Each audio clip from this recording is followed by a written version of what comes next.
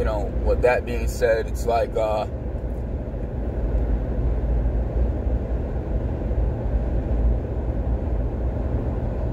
you got to just stay focused. You have to stay focused. You have to stay focused. You have to stay focused. Um, you always have to keep your eyes on the prize. Even when no one is supporting you, even when no one is, you know, clapping for you, you know, even when no one is like making you feel like you're supported or you, you know, got people in your corner. It's like even when you don't feel like that, you still have to keep going, you know. You have to clap, learn to clap for yourself. You just have to learn how to do for yourself in every way. You have to find what it is that keeps you motivated, keeps you going. Like I said, like I said, whatever that desire is, whatever that passion is, you, you have to keep it going for yourself, man, because ain't nobody gonna do it for you.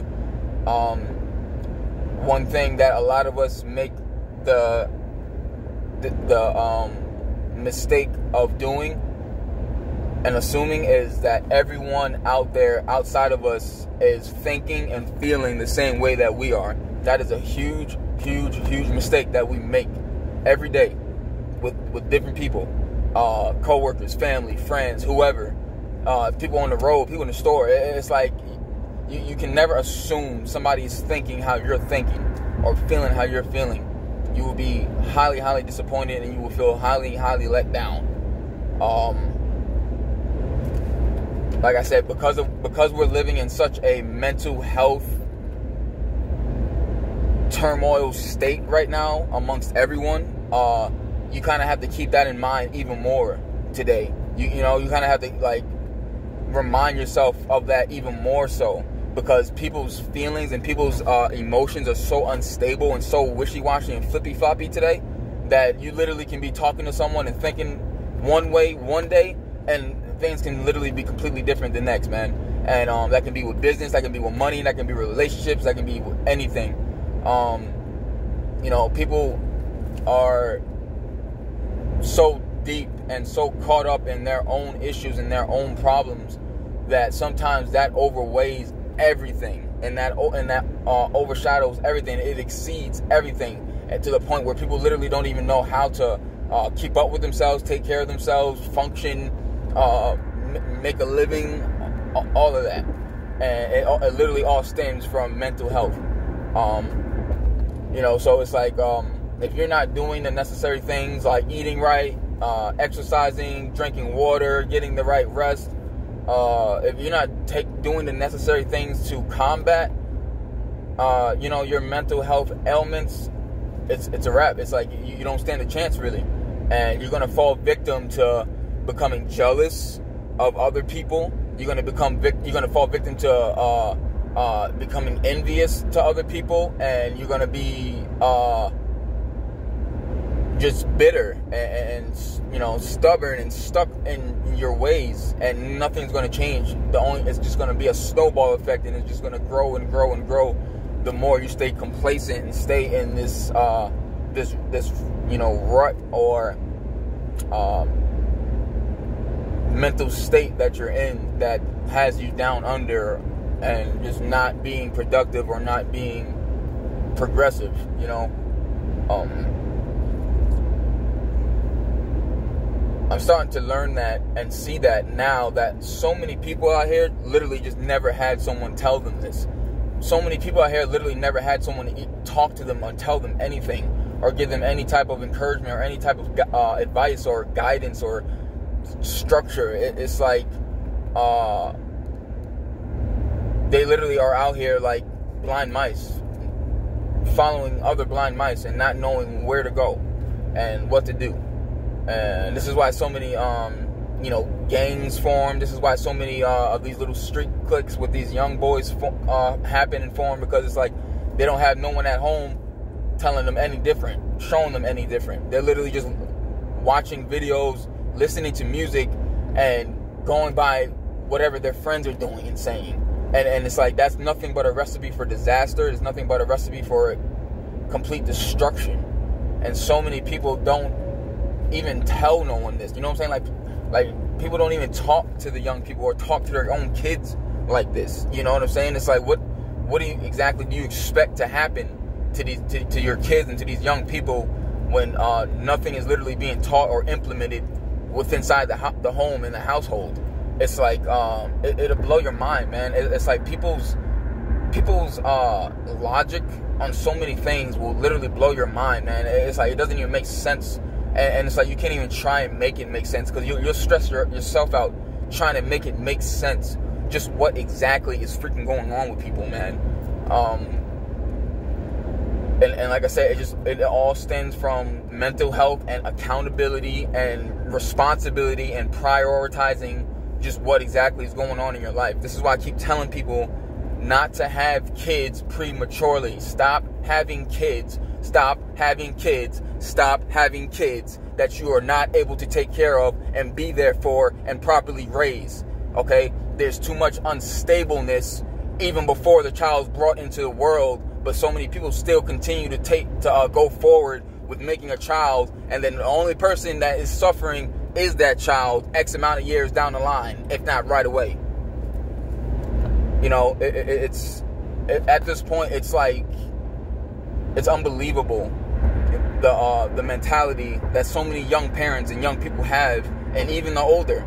You know, so many uh, older parents are so stuck in their ways and so stuck in their their uh, habits and their patterns and their behaviors and their addictions and whatever else and their issues and their trauma and their baggage that it literally bleeds over and leaks over on every damn body in the family and and the kids and whether they're young kids or, or grown adults the uh, relationship has uh, you know voids and and holes in it you know because nothing was ever um, there was never a foundation to begin with. There was never nothing to build on to begin with. So X amount of uh, X amount of years down the line, you have a divided family, you have a divided um, relationships, you have uh, mad family beef, you got mad everyone talking shit about each other um, for whatever reason. You know what I'm saying? Um, it, it, just it's just a, a snowball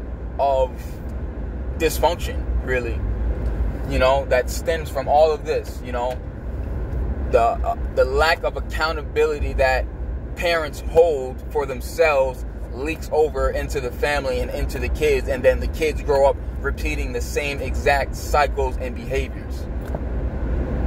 And here we are, you know what I'm saying? Here we are in a world full of adults who never developed certain emotional and psychological skills to be able to operate or uphold any type of relationship or any type of position in anything. It's, it's, you know, so it's like destruction and um, just complete dysfunction is the only outcome that there is. You know, it's amazing, man.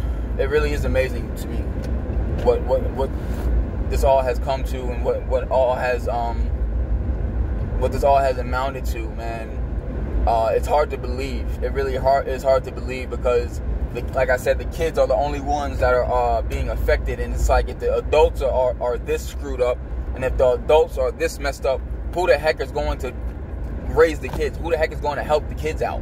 Who the heck is going to do for the kids?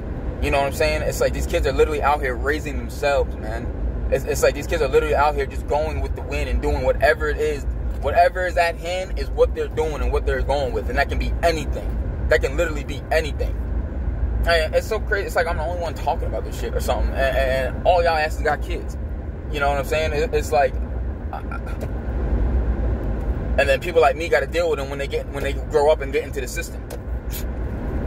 Oh, I'm trying to keep my personal opinions out of it, but um, it's hard, man. It's, it's hard when, when you're faced with it every day, when you're the one dealing with it every day. You know what I'm saying? You got these, these young kids and these young boys looking at you like you're their daddy, and they just met you. That's how desperate and deprived these young boys be, especially. Most young girls out here, they at least have their mom or somebody. These young boys don't got nobody. They meet you after one to two days and they looking at you like you a father figure already.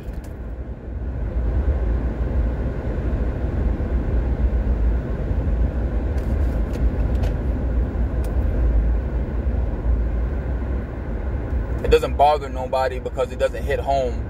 But when it does hit home, then you want to cry. Then you, then it's this, then it's that. You know, then then it's then you march in the streets. Now now you speaking up. Now you saying something. It's too late. Little JoJo's in the fucking ground. Little JoJo's in the fucking cell. It's too late. Don't cry now. Don't hit my phone now. Oh, can you speak to little Kiku for me? No. It's too late. I tried to warn you X amount of years ago.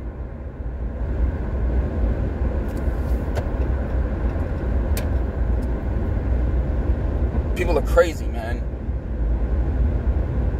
People are really crazy out here. And it's like people will will try and make it seem like you're the one doing something wrong or you're the one in the wrong for shedding light and exposing what is going on out here in these these house these households, in these communities, in these homes, in these ghettos, in these hoods, in these cities, all across America. People will, make it seem like you're the one wrong for speaking up on this and, and speaking out about it. People say all kind of shit to you. Oh, you don't got kids. What do you know? Oh, you know yeah, I don't got kids because I'm working with yours in the fucking system every goddamn day.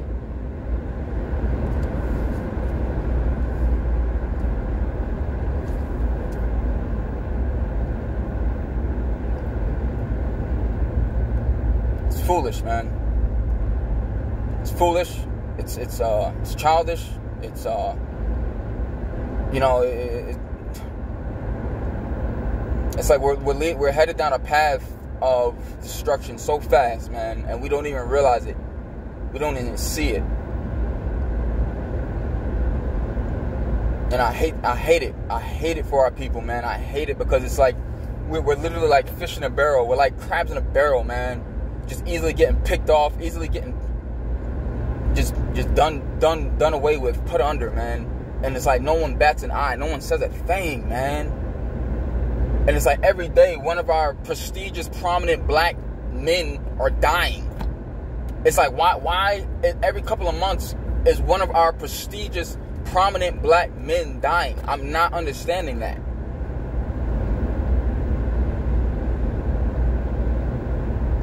And it's like, what, what, what, what irritates me the most is the stuff that I see that people share online the stuff that I see that people like online, the stuff that I see that people do online, it's like this is what really taking up y'all's mind. Like this is what's really controlling y'all's mind and what's what's controlling y'all's thought process. This is what's really uh on, like on y'all's mind, yo.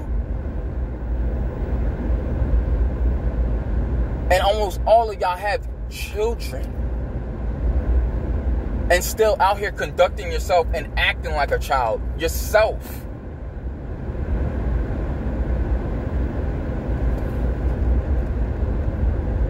It's like I can't stand it, yo. It's like some people, it's like certain people I can't even be around no more, man. like certain type of people I can't even be around no more, yo. It's like it actually irks me. It actually irks my brain. It actually boils my blood to be around certain people anymore. White, black, brown, it don't even matter. It's like ignorance don't, don't doesn't have a, a, a color to it, man.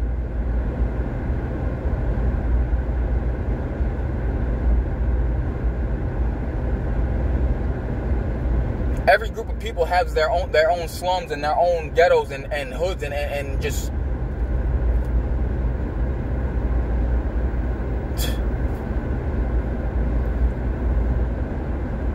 and it's like the same story. It's the same story everywhere. It's the same story. It's the same outcomes. It's the same results everywhere. What do we do? What are we going to do? What, what what's going to happen you know what I'm saying? We keep living in this superficial, artificial, uh, fictional ass world and reality. What eventually is going to happen?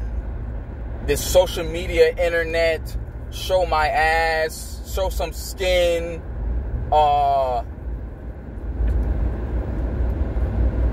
what's going to happen?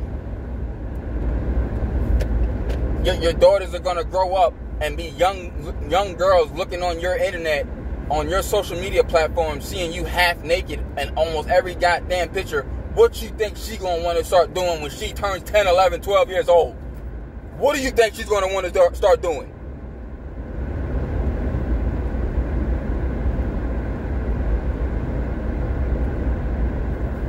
young boys growing up and they seeing they seeing all, all, the older dudes talking and, and, and conducting themselves the same way they, they them and their young friends are doing.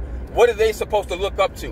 What difference are they supposed to make in, in their futures and in their young lives when they become young men? It's, it's, it's like it's like it's like the men out here.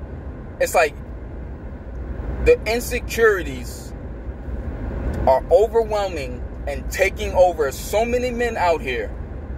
I'll get to the women later, but I want to focus on the men because I am a man and I am a black man on top of that in America. And I'm telling you right now, black man in America, if you don't get a hold on your goddamn insecurities and figure out what is what's going on with inside yourself and what's inside your own mental health, you ain't gonna last long.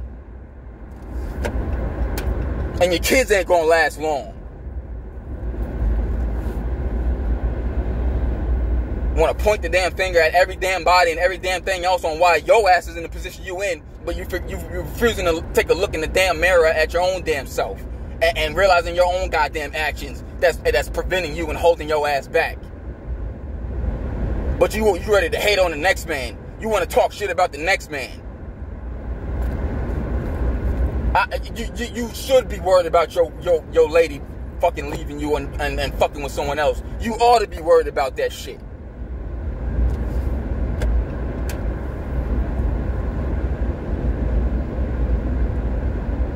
You know what I'm saying? It's like jealousy, insecurities, envy. It's like that shit takes over everything when it comes to most black men out here in America, man. Focus on you. Focus on yourself. Get your shit together. Build yourself up.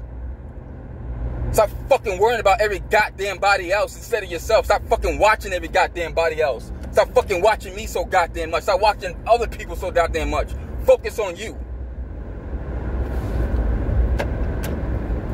It's like uh, it's like I'm tired of dealing with niggas like like kids and, and, and grown. I'm tired of handling grown ass men like freaking kids and like little boys. And when half of y'all asses out here got kids and little boys, your damn self. And, this, and, you know what I'm saying? It's like this is why I can't talk. I, I can't say it because it's like y'all ain't ready to hear this shit. Y'all don't want to hear this shit. Y'all don't got time to hear this shit. Y'all don't got that. Y'all don't even got the comprehension level to hear this shit. So it's like, what are we supposed to do? Jadakiss said it the best, yo. Jadakiss said it the best. It's hard to make a stupid nigga want to learn. It's hard to make a stupid nigga want to learn. Because there's only one thing that a nigga comprehends. And that's whatever he's hearing and seeing on in the music and on the fucking TV. Still. To this day, at this age, still. Like a little ass boy.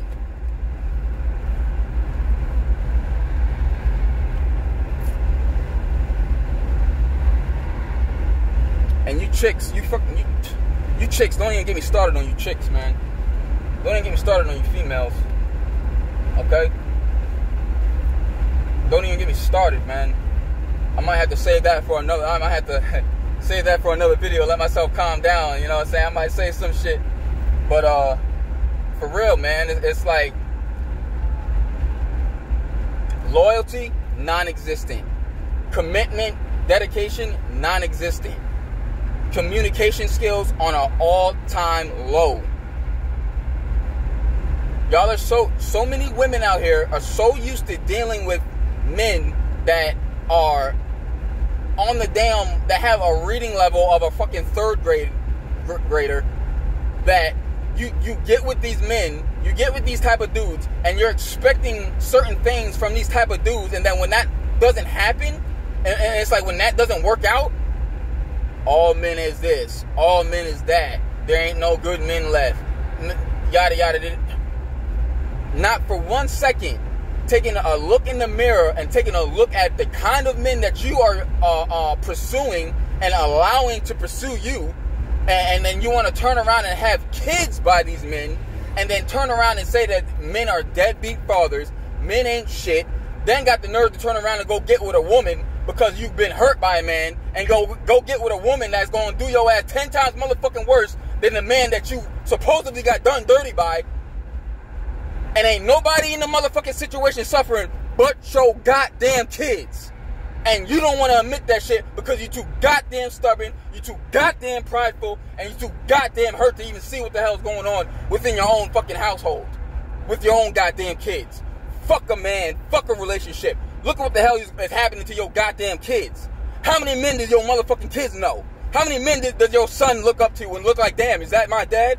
How many fucking uh, men is your daughter looking up to like, damn, is that my daddy? Am I gonna be his daddy, little girl? How many fucking men? How many? Tired of holding my tongue with this shit, man. There's too much bullshit going on out here for no one not to be saying shit, and there's too much bullshit going on out here for the real to not surface eventually. I'm sick of this, this, this, this, this, just fucking fake ass shit, man. I'm so sick of this fake shit. You have no idea. I'm up to my fucking neck with this fake shit from everybody and every everyone. My bad. I'm like spitting everywhere and shit. I'm passionate about this shit, man and I'm not even trying to be cursing like this, but it's, it's like it, it, gets to me. It gets to me so bad when people try and, and act like the bullshit is what is, is, is what matters. It, you have no idea how, how much like even people that I that I like I'll see somebody in person that I know that they know that I know that they full of shit. You know what I'm saying? It's like you, you probably experience this too. Like you get around someone that you know is full of shit, and then they'll be trying to act like, oh, yeah, it's all cool with you and shit, and like nothing ever happened. Like it's like, you know what I'm saying? It's like that shit like that right there. It's like it, it, it, it, it gets to me, man. It gets to me, you know. Because it's like there's no accountability with nothing no more, man. And it's like no one gives a fuck about nothing nothing, but y'all out here having fucking babies. Y'all out here making kids, and at the same time not giving a fuck about nothing.